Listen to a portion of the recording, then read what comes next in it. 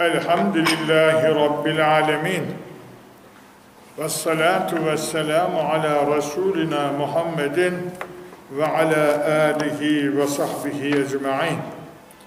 أعوذ بالله من الشيطان الرجيم.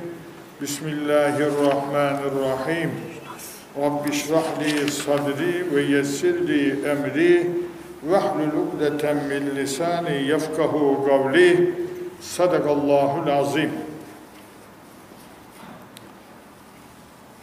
Efendim, Nas suresini yapıyorduk. Ee, üç ayetini anlatmıştık. Üç ayetini tekrar bir mana veriyorum. Devamını yapacağız. Allahu Teala demiştim ki e, kendisine sığınılmasını istiyor. Sığınılacak merci Allah'tır. Bu tevhid inancının bir boyutudur. Başka bir boyutudur. Ee, dolayısıyla biz kimseye sığınamayız.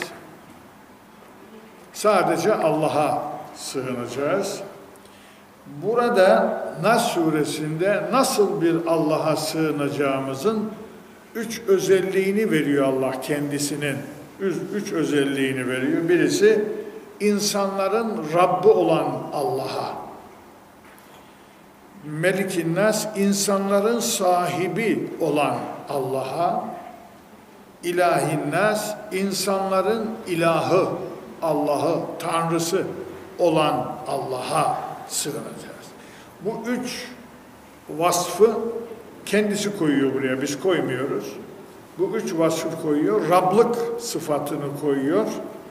Rablık sıfatı demek, yaratan, doğru yolu gösteren, rızıklandıran, besleyip büyüten, terbiye eden anlamına gelir. Kısaca manası bu. Aslında bunun 5-10 tane manası var da bu manalara geliyor. Sonra Melikin Nas sahipleri, sahip çıkanı ve idare edeni, yöneteni insanları. Sonra da Allah'ı olan, ilahı olan Allah'a sığın. De ya Rabbi sığınırım de. Böyle bir Allah'a sığınırım de. Ve biz bu üç ayetten bir kanun çıkarmıştık bizim için.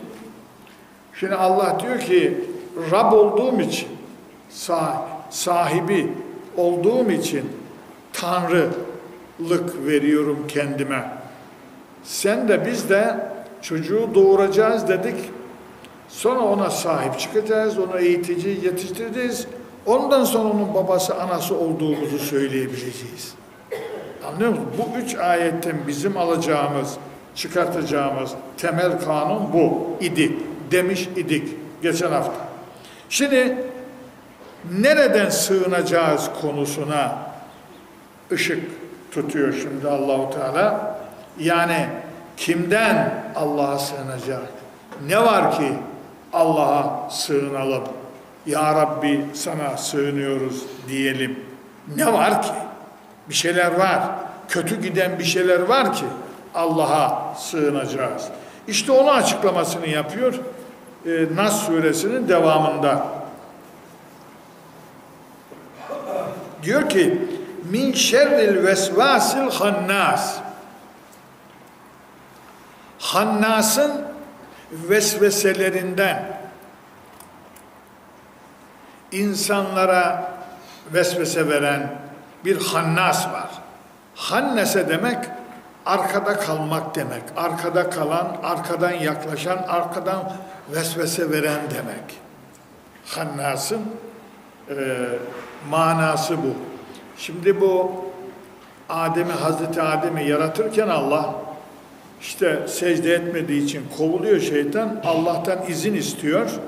Beni kıyamete kadar öldükten sonra dirilmeye kadar bana müsaade et diyor. Bana hayat ver. Veriyor Allah. O zaman diyor ki Allah'a senin kullarından arkadan, önden, sağdan, soldan yaklaşacaksın ve onları şükreder olarak bulamayacaksın. Diyor. Araf suresinin ikinci sayfasında. Şimdi bu demek ki Şeytan insana arkadan da yaklaşıyor, önden de yaklaşıyor, sağdan da soldan da yaklaşıyor. Bir şekilde bize vesvese veriyor. Bir şekilde bizi yoldan çıkarmaya çalışıyor. Anlıyor musun?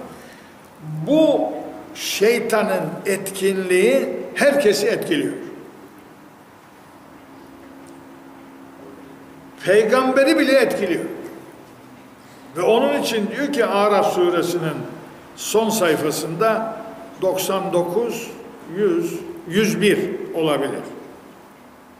Ve imma yenzaganne ke mineşşeytani nezgun. Şeytandan sana bir fit dokunursa, şeytan sana bir fit dokundurursa diyor peygamberimize. Sana ke sana festaiz billahi mineşşeytanirracim. Kovulmuş olan şeytandan bana sığın, Allah'a sığın diyor. Bak orada. Peygamber bile sığınmak mecburiyetinde. Nihayet peygamber bu sureleri okuyacak. Okumak mecburiyetinde. Zaten bu sureler inince sabah namazında zammi sure olarak bunları okumuş. Efendim rivayete göre. Ha demek ki vesvas vesvese veren nezr bu da şeytanın vesvesesi. Fiti fit. Hemezat o da aynı şekilde. Yani şeytanın hemezatı şeytanın nezgı şeytanın vesvesesi filan bunlar beş aşağı beş yukarı aynı manalara gelirler. Kimdir bu hannas diye Allah kendisi tanımlayacak şimdi. Biz anlatmaya çalıştık, manasını vermeye çalıştık ama tabi bizimki basit kalıyor. Efendim Allah kendisi bir sonraki ayette bunu açıklıyor. Ellezi o hannas ki yüvesvisu fi sudurin nas. İnsanların göğsüne, kalbine, gönlüne vesvese verendir. Tanımı budur. Yani tanımı Allah kendisi yapıyor, bize bırak.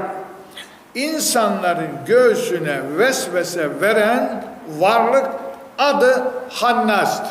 Bu kadar basit. Tanımını Allah yapıyor kendisi. Bizim uğraşıp durmamızda lüzum yok. Bir saattir uğraşmaya çalışıyoruz, anlatmaya çalışıyoruz. İşte ben yaptım onu diyor Allah Teala. Ben tanımladım sen ne anlarsın o işte. Bak burada yapılmıştır diyor. Kendisi yapıyor. Demek ki şeytan insanın göğsüne sadr dediğimiz, gönül dediğimiz şeye, manevi organa, manevi organ maddi değil ya, manevi organa vesvese veriyor. Oraya, orasını, verici istasyonu orası. Bizim göğsümüz alıcı istasyon, şeytan verici istasyon oluyor. Yani bizim göğsümüzle uğraşıp duruyor. Bizim gönlümüzle uğraşıp duruyor. Anlıyor musunuz? Demek ki akıl devamlı iyiye çalışır. Nefis olgunlaşmamışsa kötüye çalışır. Bu kötülüklerin uğraştığı yerde gönül. Yani nefis gönülü almak istiyor, akıl vermemek istiyor, arada çıkıyor cihat oluyor işte. Akılla nefsin cihadı dediği peygamberimizin büyük küçük cihattan büyük cihata döndü dediğiniz nefisle mücadeledir demiş peygamberimiz. Sahabe soruyor ya nedir o ya Resulallah? Cihattan döndük şimdi. Ondan daha büyüğü nedir? Nefisle mücadeledir dedi. Nefisle mücadele büyük cihattır. Şimdi demek ki birileri o hannas dediğimiz varlıklar insanların göğsüne vesvese verenlerdir. Çünkü insanlar vesvesenin peşine koşarlar. Bir şey biliyorum diye zanneder. Efendim iki kelime bilmez bir şey biliyorum zanneder vesvese ile konuşur. Vesvese ile konuşurlar anlıyor musunuz? Minel cinneti ve nas. O hannas kimlerden oluşmuştur onu da anlatıyor Allah. Cinlerdendir ve insanlardandır. O demek insanlardan da şeytan var, cinlerden de şeytan var. Olay bu. Anlıyor musunuz? Şimdi bu ayetin bu kısmı 112. ayete denk düşüyor. Enam. وَكَذَٰلِكَ جَعَلْنَا لِكُلِّ نَبِيٍّ عَدُوًّا شَيَاطِينَ الْاِنْسِ وَالْجِنِّ ben her peygambere cinlerden veya insanlardan olunan şeytanları düşman kıldım diyor Allah. Şimdi o ayeti al gel buraya veya bu ayeti alıp gidelim oraya. Fark etmez. Bize şunu söylüyor. İnsanlardan da şeytan vardır. İblis cinlerdendir. İblis ama şeytanlar her iki gruptan da oluşur. Yani yanisi var mı? İnsanlar da insanları yoldan çıkarıyorsa şeytandır. Eğer bir insan bir insanı yoldan çıkarıyorsa o insan o insanın şeytanıdır efendim. Bu kadar basittir. Bunu bilecek. Bu, bu bunlar anlatılması lazım gençliğe. Gençliğe anlatılması lazım ki şeytanların peşine gitmesinler. Çünkü şeytanların peşine gidiyorlar. Yani sen gelip de meclisi bombalatan adam, bombalayan adam, bu kadar insanı öldüren adam insan olabilir mi? Şeytan. Küçük şeytan. Onun büyük şeytanı var. O onu yoldan çıkarıyor. Anladın mı şimdi? Evet. Yani bir insan silahı eline alıp bindiği uçağa gelip de kendi insanına, kendi komşusuna, Müslüman adama sıkarsa ne denir buna? Ne olur bu adam? Kim vermiş bunun bu eline silahı? İşte şeytan. İşte şeytan. Demek ki şeytandan geçilmiyor. Yani İslam alemine şeytandan geçilmiyor. Siz zannediyorsunuz ki bu insan efendim o kanalları kazmış, o memneleri yapmış, o bombayı toprağa koymuş, asker oradan geçerken patlatmış. Bu insan değil, bu şeytan. Hani diyoruz ya, o üst akıl vermiş emri. Üst akıl değil, üst şeytan. Buna akıl olur mu? Akıl kötüyü emreder mi? O şeytan emrediyorum. Şeytan o işte bu bu ayetler bunu anlatıyor. Bunları bilsek, bunları gençler bilseydi o generaller giderler miydi öyle yerlere? Ulan bir general ilkokul mezunun emine girer Bir profesör girer İşte bu, bunlar bilinmiyor. Ben nereye gidiyorum bilmiyor ki delikanlı. Gençken gidiyor bunlar onların peşine. Efendim ne nereye gidiyorum haberi yok yani. Anlıyor musun? Nereye gidiyorum? Bunun bilgici yok, bilinci yok. Eğitim yanlış verilmiş. Din eğitimi yanlış verilmiş. Din anlatılmıyor doğru dürüst. Bak ne diyor şimdi burada. Minel cinneti cinlerdendir o hannas ve ve nasi insanlardandır. Demek ki şunu bileceksiniz. Yani bu ayet ve de ve de Enam 112'yi alacaksın, getireceksin buraya. Bu iki ayet bize diyor ki insanların da şeytanı vardır.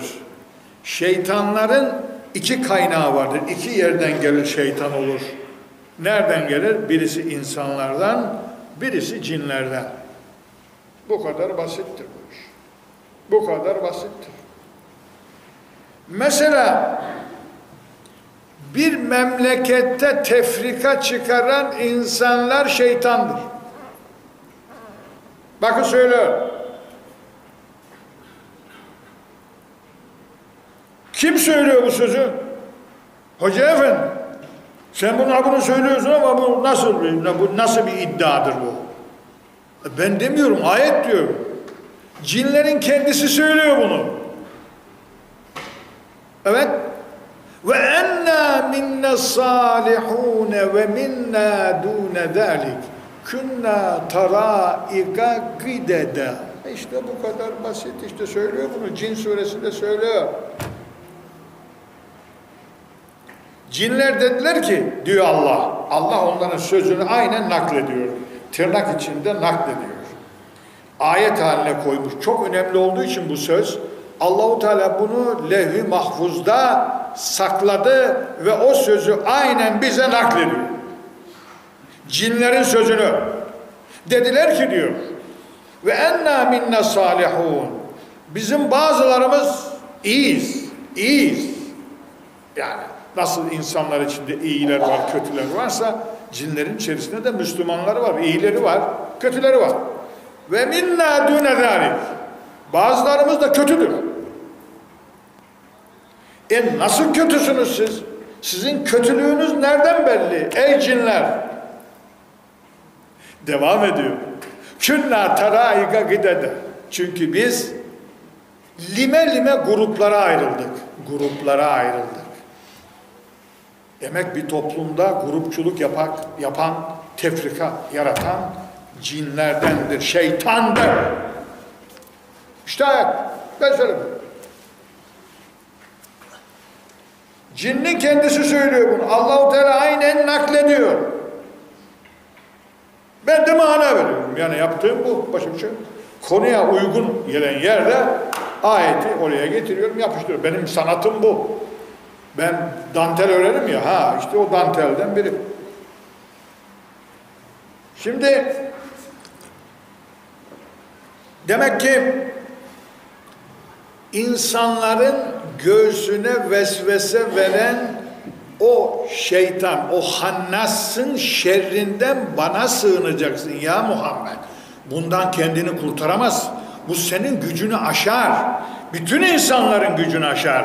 Bunu bana sığınacaksın, ben engelleyeceğim. Ben devreye gireceğim ve seni kurtaracağım. Ama sen bana sığınman lazım. Sen bana sığınmadan olmaz. Bir defa sığınacaksın bana. Bir defa kule uzru bin nasi bir oku he. Bir oku.